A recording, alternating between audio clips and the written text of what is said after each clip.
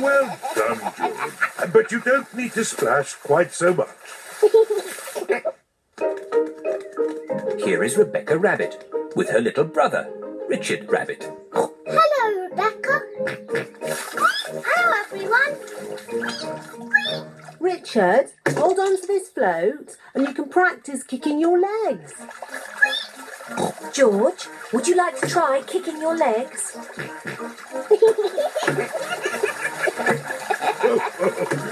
good, but try not to splash.